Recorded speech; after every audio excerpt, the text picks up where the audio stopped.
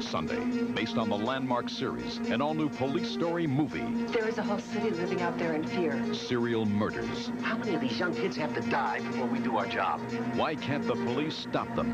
He's been adjudged a sexual psychopath. Officer needs help. This thing is not gonna end.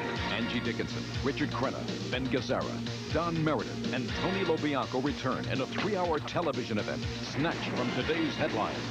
Police Story, The Freeway Killings.